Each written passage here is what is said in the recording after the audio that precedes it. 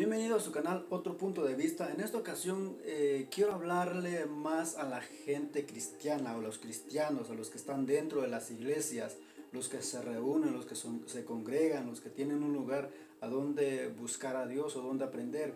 Es más para ellos y quiero tocar un verso o algunos pasajes que están en el Evangelio se usan Mateo capítulo 9, eh, verso, eh, eh, recorriendo, empezando del verso 35, porque es, es interesante, por eso que quería tocar este tema.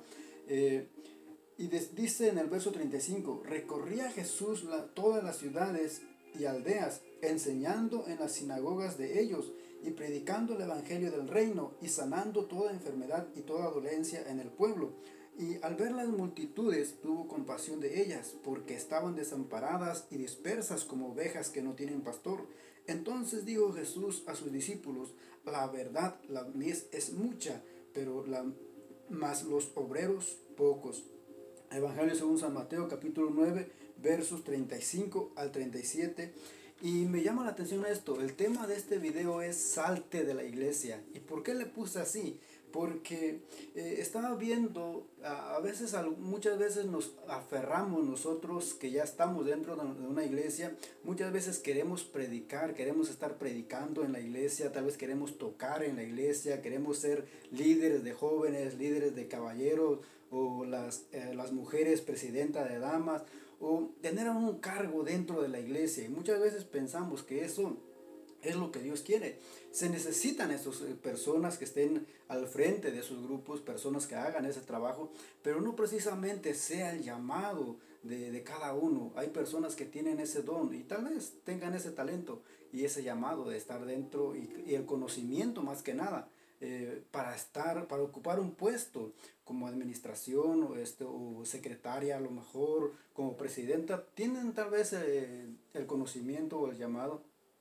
Pero muchas veces que nos aferramos a un puesto, nos aferramos a, a estar eh, de la iglesia, trabajar dentro de la iglesia, este, predicar, como decía, estar al frente del púlpito, como dicen, estar al frente de la gente, que todos nos vean. Y pensamos que ese es el... Eh, ese es nuestro propósito, que eso es lo que Dios quiere. Pero me, me llamaba la atención lo que dice este pasaje. Dice que Jesús recorría las ciudades, recorría las aldeas, iba sanando.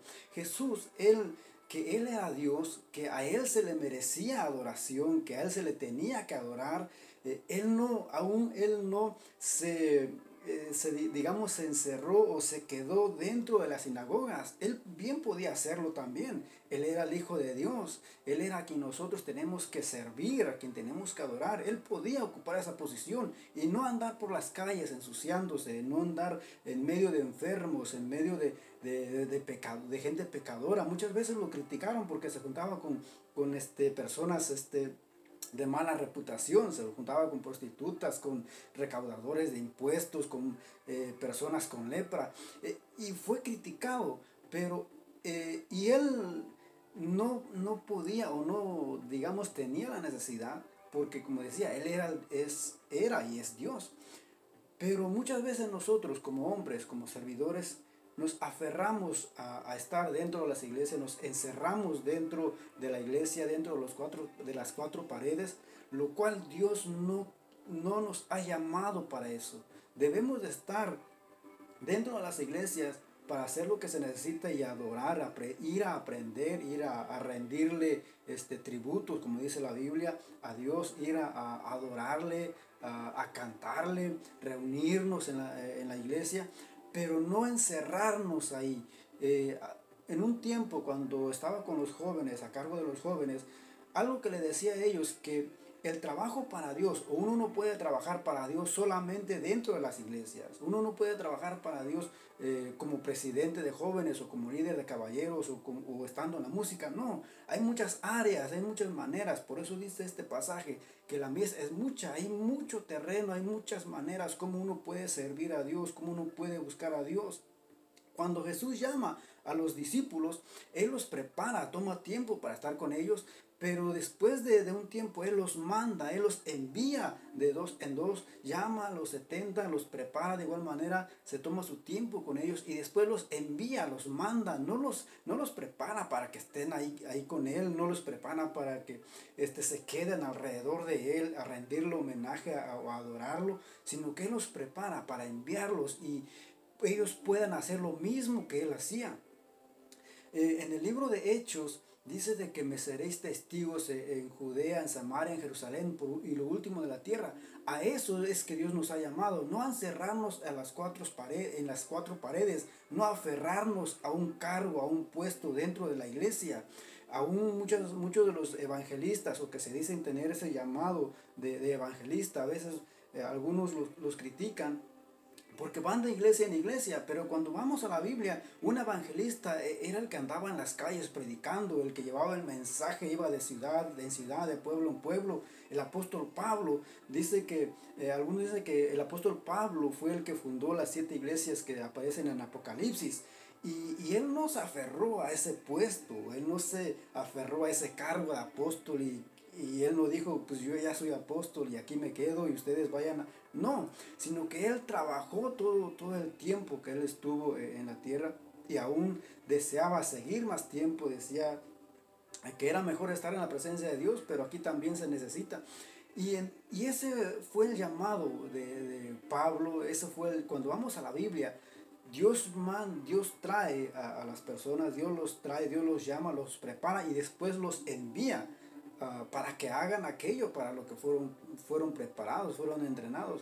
Ese es el propósito de, de Dios para nosotros, prepararnos para enviarnos, para salir a predicar, para salir a llevar las buenas nuevas. Eso es lo que Dios quiere que hagamos. No que nos encerremos en las cuatro paredes, no que nos aferremos a un puesto, no que nos aferremos a un este, micrófono. Muchas veces criticamos a aquellos, a los, por ejemplo, a los que cantan reggaetón, a los que cantan rock, a los que eh, hacen dramas o hacen este, pantomimas o de algo, que buscan la manera de atraer a las personas. Muchas veces los criticamos a ellos por cómo lo hacen, pero nosotros no hacemos nada. Ellos por lo menos están haciendo algo, están buscando la manera de, atraer a las personas, pero nosotros nos encerramos solamente y, criticamos sin hacer nada.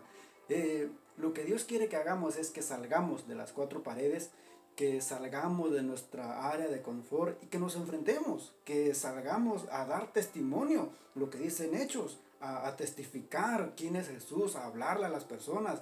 Eh, cuando envía a los 70, dice, yo los envío como ovejas en medio de lobos. Si nosotros queremos verdaderamente reflejar y hacer el trabajo que, eh, que, Dios quiere que hagamos, nos tenemos que salir de las iglesias, no encerrarnos en la iglesia, sino salir, ir eh, a donde está la necesidad, como Jesús dice que él iba de ciudad en ciudad, en, de, en aldeas, buscando a aquellos que necesitaban Ah, buscando a, personas que tenían necesidad, eh, esa necesidad espiritual o física o cualquier eh, persona que podía aceptarlo, a ellos era que él iba. Y ese es el llamado, así como dice la Biblia que él nos dio ejemplo. Si él hizo eso y no se encerró o no se quedó en la sinagoga como líder ahí o, o para que lo adoraran, sino que él mismo nos dio ejemplo de qué es lo que tenemos que hacer y no, y no es encerrarnos en la, en la iglesia, no es, no es buscar un puesto en la iglesia,